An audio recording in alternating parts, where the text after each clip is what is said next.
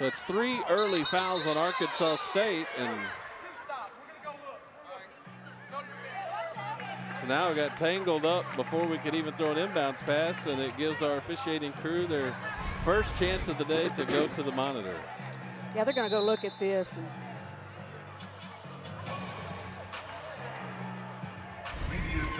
So they will step aside for the media break for the review. We'll come back and sort it all out right after this.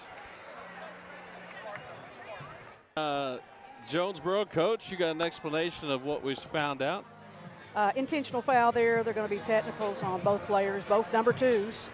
Uh, so that'll be a uh, personal foul on Leilani Ogman. That's her second personal foul. So both these young ladies are going to pay the price on that contact. So it's Augman with the foul and Michaela Dickens for ODU. That's actually just Old Dominion.